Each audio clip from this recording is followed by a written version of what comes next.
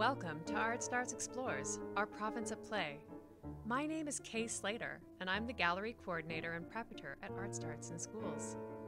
Every month, we pick a new theme to explore together through art making and play.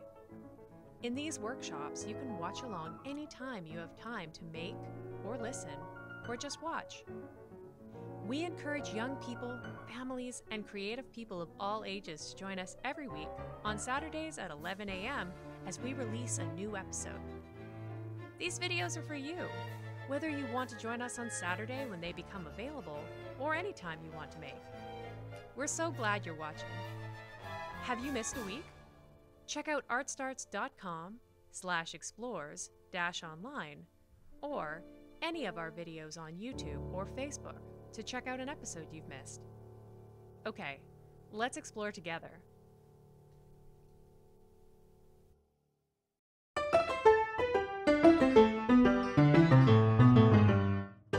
Before we begin making, let's review the three rules of explorers. We've got rules in quotes here because they're less rules and more like guidelines or things that we like to have in mind before we start making together. First is respect. We practice respect for ourselves by checking in with ourselves every day before we start making. Maybe we didn't have a good night's sleep, or we're feeling really good today. Whatever it is, we want to take the time to check in with ourselves. We also practice respect by doing the same thing for each other. And if we're not making alone, we're making with other grown ups, or other youth, or friends, or classmates. We want to practice respect by asking them how they're feeling as well, so we can be mindful of each other while we make together. Another way we practice respect is with our tools. That can be about putting them away when we're all finished or using them safely. If somebody else is waiting for a turn to use a tool, we can use our words or our signs and share. We can respect each other by asking how long they'll need the tool so we can move on to something else. Or, if we need it now, we can let them know when we will be done and tell them we will pass them the tool when we're finished.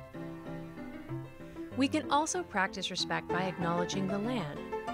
So, this space that you see here is my studio space. And I'm on the stolen, or unceded, territories of the Musqueam, Squamish, and Tsleil-Waututh nations as an uninvited guest on these lands. One of the ways I practice respect is by acknowledging where I'm coming from and to be respectful of the lands, waters, and to the indigenous people who are here and who have been here since time immemorial while I have access to these lands. You can practice respect by finding out the territories and lands where you are watching and making from today, and by being the best guest you can and respecting the host nations, the lands, and waterways where you live. The second rule is that nothing is for keeps.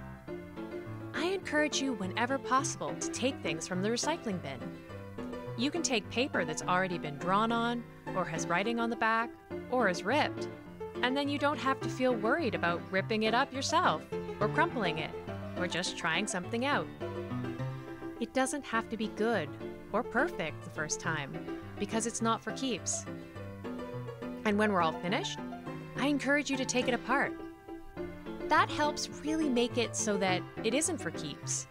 Because if you know you're going to take it apart at the end, you don't have to make any finished thing. You can try all the things and ways of making. Our last rule is no expectations. If we're not expecting something to turn out good, or even to turn out bad, we're open to it going in a whole bunch of different ways. And that means that all respectful and creative ideas are good, regardless of what happens after we try something.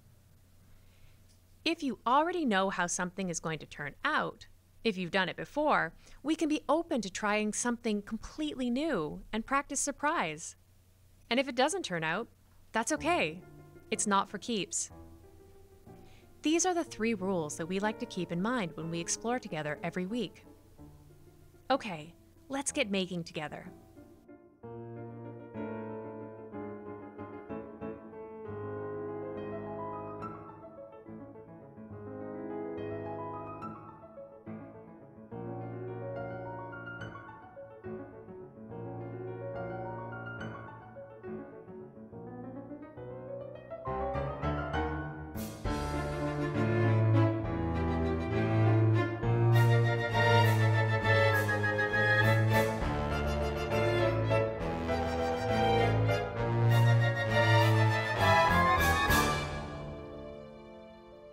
Everyone, and welcome to ArtStarts Explores.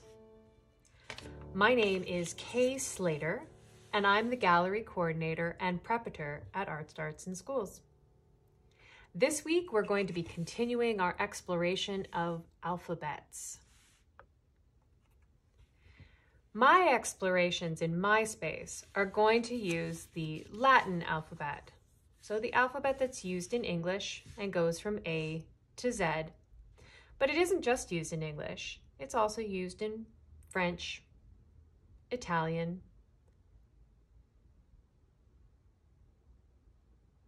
German, and lots of other languages. You can use this alphabet if this is the one you know, but you might know another alphabet, like the Greek alphabet, or Hangul, or Cyrillic. If you know another kind of alphabet, you're absolutely welcome to use it while you explore along with us today. For today's exploration, do you have any paper? At ArtStarts Explorers, I love to encourage you to go into your recycling bin and to find whatever paper is available. It can be paper that has things on it, that have cuts out of it, that are crinkled, that are small, that are big. It doesn't really matter because everything that we explore together today isn't for keeps.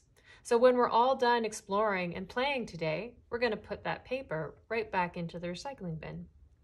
That doesn't mean you couldn't use new paper from a sketchbook, or if you have some nice paper available to use, some printer paper, that's great.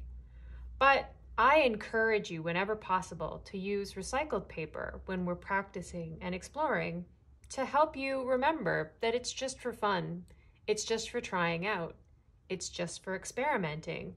And so it doesn't really matter if it turns out great or not, it's not for keeps. Do you have any mark making tools? A mark making tool is anything that makes a mark. That could be a pencil, pencil crayon, crayon, or mud if you had permission. Anything that makes a mark on the page is a mark making tool. When I explore with you for Explorers, I always use my markers because it has a really high contrast. It's really easy to see, but you can use whatever mark making tool you have available. You'll see I have a dotted line here and I've also put scissors. When we get to the part of the exploration where you feel you want to cut something or take something apart, if you have a pair of scissors that you can safely use, or you're making with a grown-up who can use a pair of scissors, then great. But if you've explored with me in the past, you know I love to rip paper. So if there's a part where we're going to need to cut something, I'll probably just rip it because I love to rip paper. So for this week in exploring alphabets, I thought we could start by being inspired by letters. And what I mean by that is um, getting ideas from letters, starting something. Have you ever sat down and gone, I really want to make something, or I want to play, or make some art, or draw something or paint something and the something you can't figure out. You don't really know what you should paint. You know you want to do it, but you don't know what you want to make. I thought what we could do is we could um, use letters to help create prompts or starting points to start exploring together today. Just like I explored last week, where we used our name to start looking at um, the letters as, um, as a mark that we make. I want us to again start with using our name. And so I'm going to rip, there you go, this small piece of paper right here. And I'm going to write my name. And if you have a piece of paper and a mark making tool, I encourage you to do the same thing.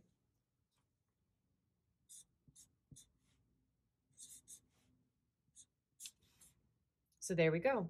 There's my name. So already I'm ahead because the page was blank before and now there are marks on it. So I could just go from there and could just keep writing my name or writing these three letters of my name over and over again until I have an idea. But what I thought we could do first is we could play a chance game with our letters. And so what I mean by that is I'm going to rip, and you can cut, each one of the letters of my name into separate pieces. If you have a really long name, this might take longer, and if you wrote smaller, it might help to use scissors. But I have a short name, and I uh, it was pretty easy for me to rip this paper.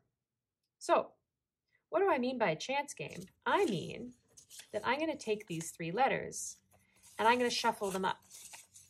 I don't know what letter is going to going to come up. I made mine pretty big, so maybe I'll fold it in half or in quarters.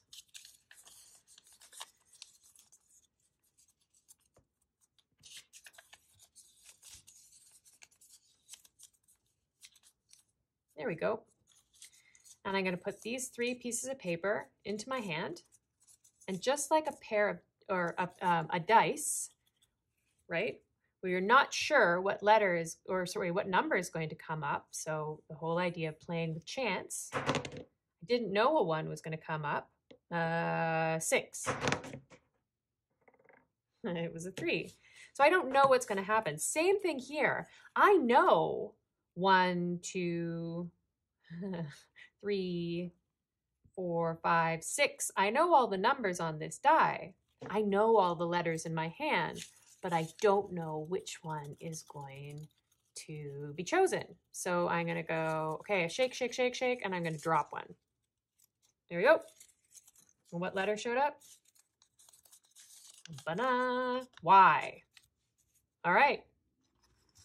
So let's go back to being inspired by letters. We want to draw something. We, we want to make something, but we don't, we don't know what. I'm going to move some of these things aside so I have a bit more space. You know who I am. Chance game with letters. It's going to be inspired by the letters. And I'm going to move my alphabet to the side. There we go. Okay, so the letter Y. So we could start by just drawing a Y or whatever letter you picked. Did you draw it big or did you draw it small? What happens when you fill the page with nothing but the letter that you drew? Let's go for it.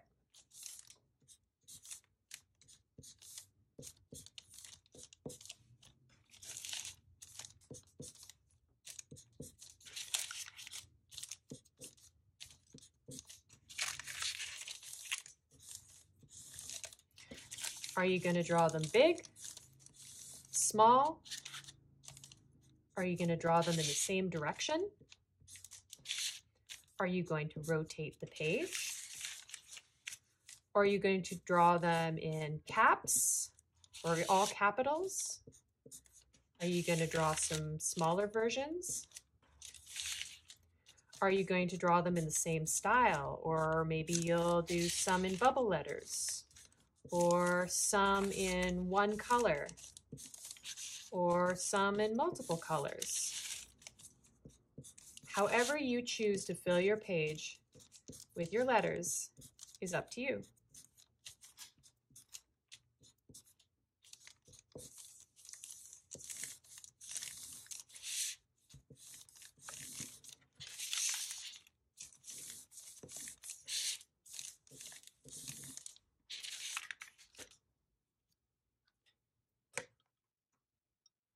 When you feel like you've filled up your page as much as you can with letters, or when you're feeling good, stop and look at the page. What do you notice?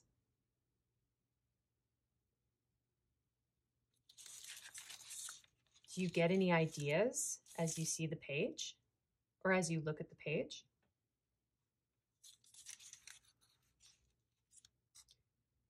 Do you see the letter or do you see something else?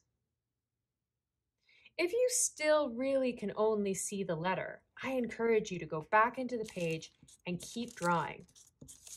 Even if you get the page so full that you start putting the letter on top of letters you've already drawn, try to keep drawing until you can barely see that it was the letter that you started with. So it just becomes a bunch of marks that you happen to make because of the letter you picked. Okay, I'm gonna go a little faster. Fast and slow is another one. Do your, do your letters look different when you draw them fast versus when you draw them slow?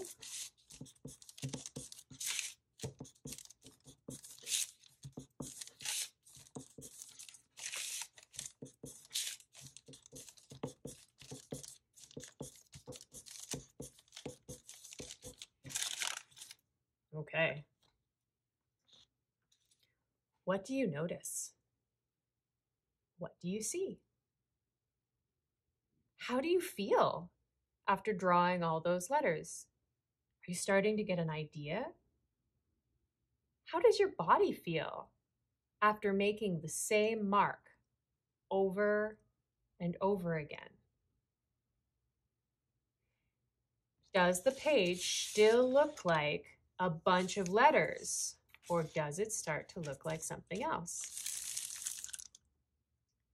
For me, I'm not seeing the letter Y anymore. I'm seeing a whole bunch of branches. And that could be because I have it on a brown piece of paper. That beca could be because the paper is kind of textured and dirty in places.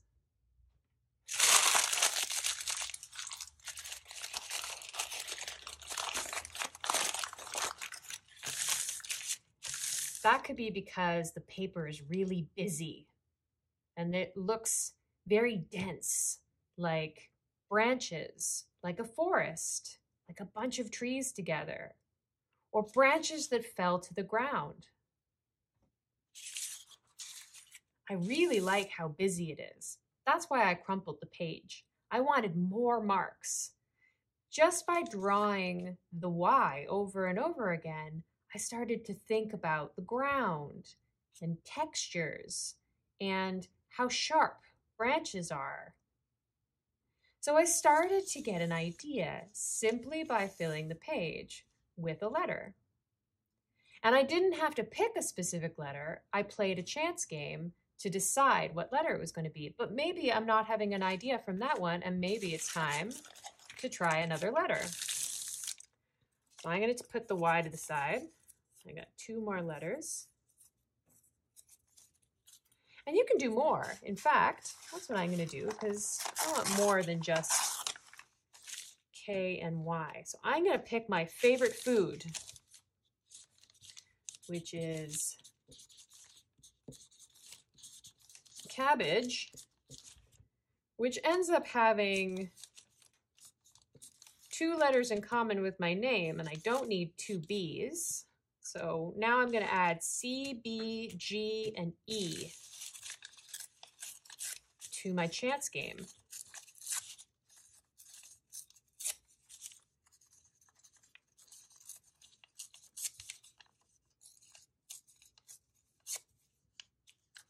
You could play this game as well with a, a friend or a classmate or another grown-up who does know another kind of alphabet besides the Latin alphabet and you could mix in different different letters um, and then um, when they come up you could you could use them as your mark making. Even if it's not a alphabet that you regularly use you could take a look at the new letter and see how you could fill the page with this different kind of letter. I'm going to do that. So i don't i don't speak or write um, in Spanish, but I do know, because I do know a bunch of words that are borrowed from Spanish that have um, oh, I can't remember what the technical name is for the squiggly line that sits on top of the of the um, the N. I'll have to look that up later.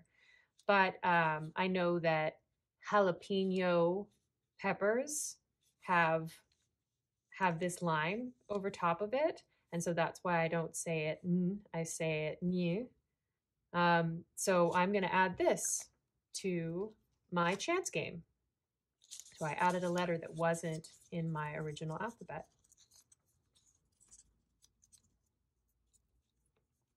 And you could add numbers as well, but because we're playing with uh, alphabets this week, um, those are the those are the uh, letters that I've chosen. But there's no reason why another week that you were exploring you couldn't do numbers or you couldn't do uh, other kinds of symbols um, or little kind of icons or pictures that you want to quickly draw to give you inspiration when you're not sure what you want to make. But this is nice and easy. They're all ready-mades. We already, somebody else has already designed what these letters look like. We don't really have to, don't really have to think too much. All right, one letter. Which one showed up? I added all those letters and then I still ended up using a letter in my name. So there's an A. And I could do it in a lowercase a, but I could also do it in uppercase A. In fact, this time I'm going to fill the page with both capitals and lowercase letters. Okay, let's go.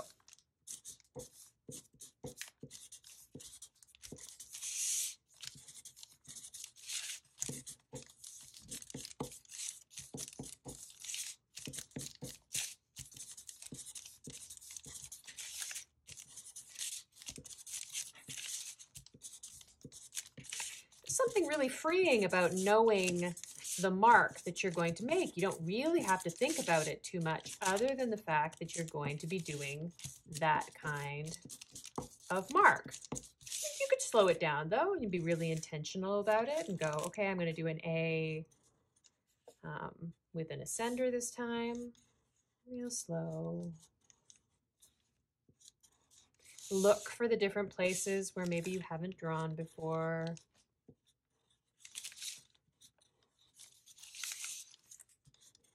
Your hand starts to get tired, maybe you could try your non-dominant hand. Oh, I did that one backwards. That's funny. Oh, maybe maybe that's what you want to do. Here, I'm going to start drawing my A backwards. Whoops, that was forward.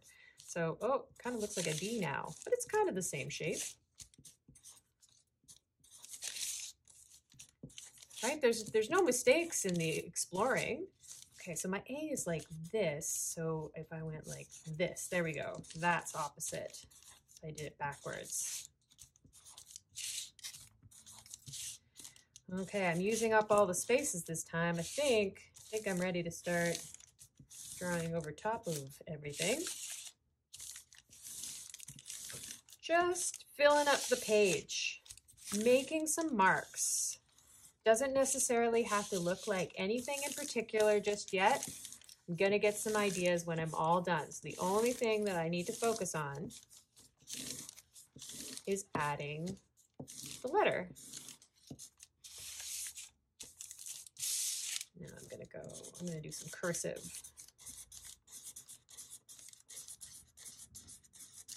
I'm going to do that down here too. You are welcome to copy all of my ideas, but uh, you might have your own ideas of how to fill the page. If you're making with somebody else, maybe um, you could start with a letter on one page and then you could hand it off to them, to somebody else, and then they can fill up your page with their own letter and you could fill up their page with the letter that you just finished and then swap back again. Okay. No, you know what? I, I want one more. One more time. Sorry. Big curvy A's.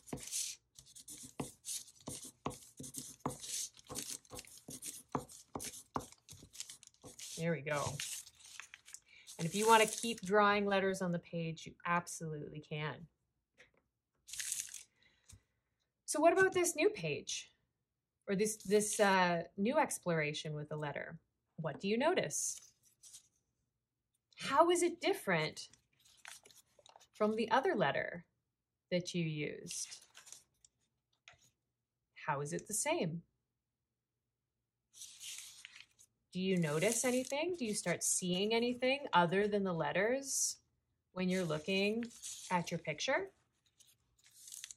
If you can still really see all of the letters, again, I encourage you to go back in and keep adding more of that letter until it's really hard to tell that your page is letters. Just trying to create a whole bunch of marks made out of the letter until you start being able to look and maybe see patterns or lines or forms that give you another idea. Okay. So for me, when I'm looking at this, I see a swimming pool. The reason I see a swimming pool is because I kind of, by drawing my cursive lines on the outside, I kind of made this box here, this interlocking connected box or border around the outside. And then because of it kind of looks like with my capital A lines, kind of looks like uh, water or waves that could be going back and forth in the pool, and then bubbles that are coming up from the surface. So with this idea, with this spark, with this prompt, with this starting idea, I could then go, okay, that's cool. What would this look like if I was going to draw it without all the scribbles. I was just going to take the marks that I liked. And I don't necessarily have to draw in the alphabet letters anymore. I could draw um, what I see, and maybe they don't look like the letters anymore. So for example, I could go, all right, remember I said I thought I saw a swimming pool? So I could absolutely draw the outlines like this. Because we're being inspired by, we're getting ideas by doing this first practice, this first warm up. But now what I'm going to do is I like, I liked my cursive A's. So I'm going to draw a bunch of A's within this border.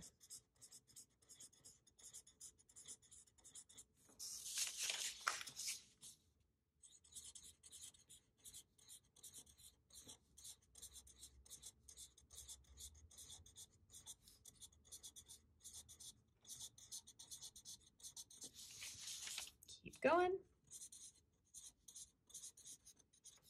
What do you notice if you are drawing a chain of letters? I'm noticing that it is actually pretty hard for me to talk and draw at the same time and think about making sure that my letters kind of look consistent woof, as I go along. And it can be hard, even though it's the same shape over and over again. You get into a pattern how long can you draw your letter without making a mistake? Okay, there we go. So can you see how they're the same, but they, this one, because I, I went wild and I didn't have any kind of restrictions or plans, it was like, okay, no, I like this. So this is what it could look like if, um, if I wanted to make it something that was a little cleaner. And remember how I said that I kind of saw waves here? Well, I'm not going to do straight lines this time. I'm going to go wavy. There you go, across my pool, right? Seeing the lines that the A did, but I could totally go A. I kind of like that. Maybe I won't cross the bar, I'll just leave them like that. So it kind of has the same shape as the A that I had there before without the line in the center. And then the last thing I said were bubbles. And I kind of liked the um, what do you call it the the version of the A's that I did that had the um, ascender at the top. So I'm going to go this just in a couple of places. Show bubbles. Maybe the bubbles are all on this side, close to the waves. And there we go. And so from not having any ideas at all, by scribbling on the page using a bunch of letters, I was able to think of a picture. I'm just to add some color.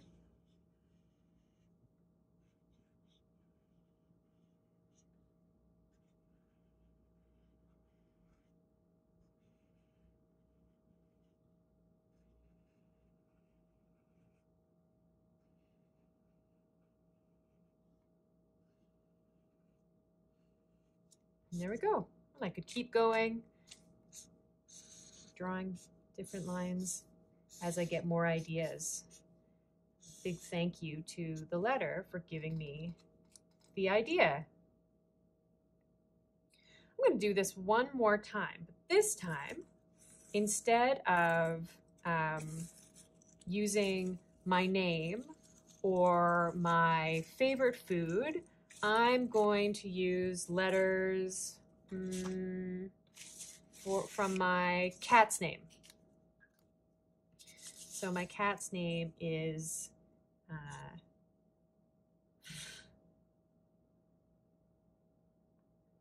I'm laughing because my cat has a couple of different names. Okay, I'll use all the names that are for my cat. So cat boy is one of the names but we also name, well, I guess I don't have to do it because it's a repeat, but I usually name, or I usually call my cat Bobo.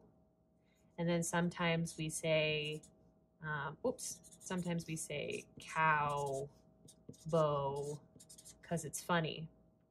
So what are the unique letters? What are the letters that only happen once here? C, A, T, B. Okay, got B's a bunch of other places.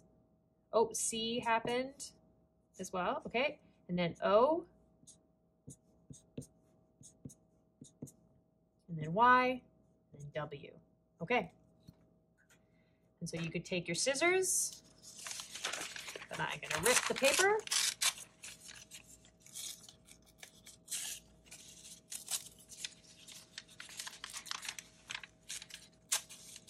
Go, there's my W.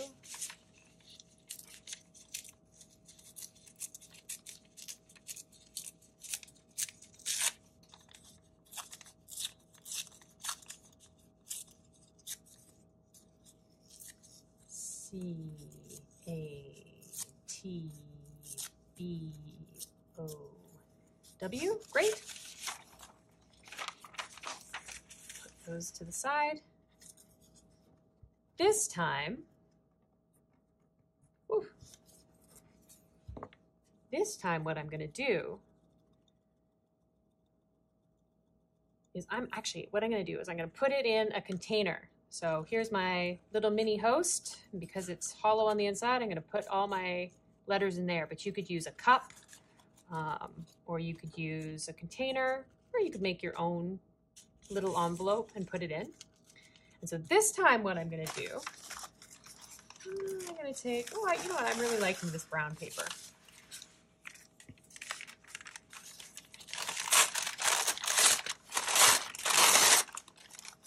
There we go.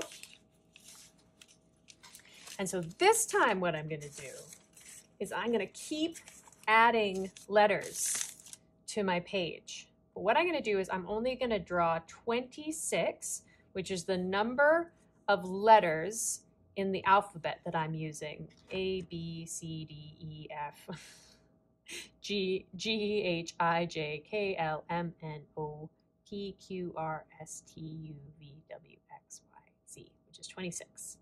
So um, I'm going to take a letter because I can make up, and you could make up whatever chance game you want. You could uh, you could choose the number 26.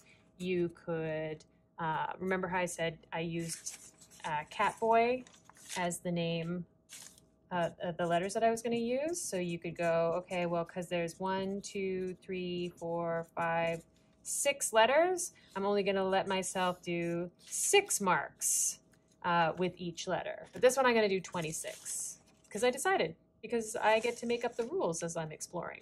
And so the first letter I chose was T. So I'm going to do 26 T's on the page.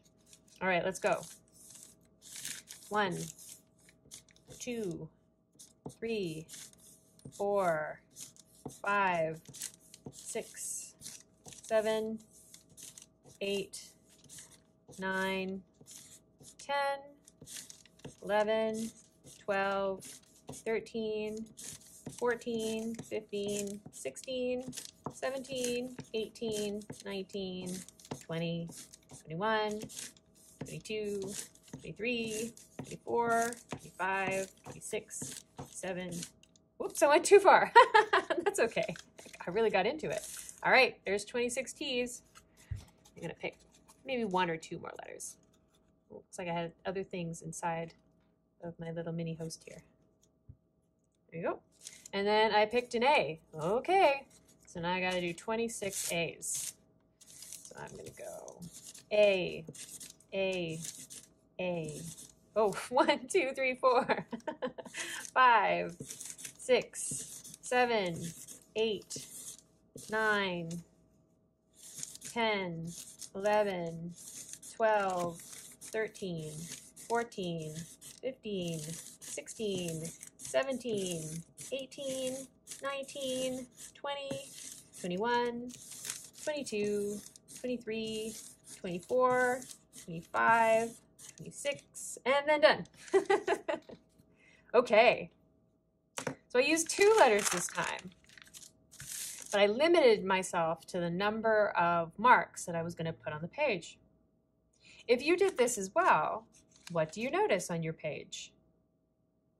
Don't forget, you can always turn your page around because sometimes you'll see something different from the direction that you originally drew it in. But I definitely see something. I definitely have an idea that when I started drawing my A's, I was inspired. I had, um, I had an idea of a picture that I wanted to draw, and what that picture is, is can you see? Can you can you guess?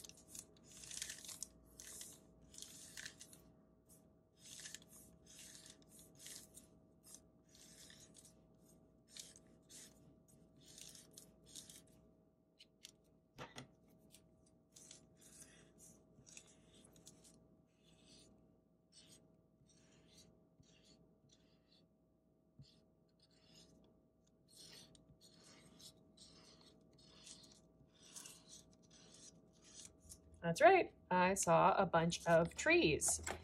Inside those trees, I see a bunch of apples.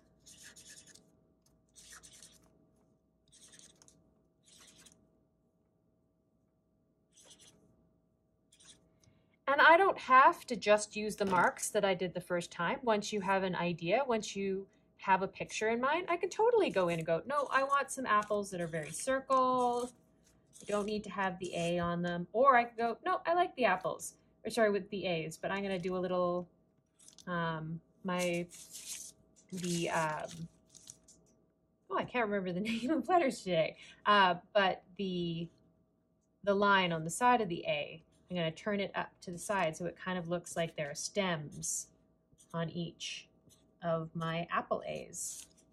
You don't have to do that. You just do circles. Once you have an idea, you totally don't have to stick with the original idea that gave you um, the inspiration. Now I can go in and keep coloring.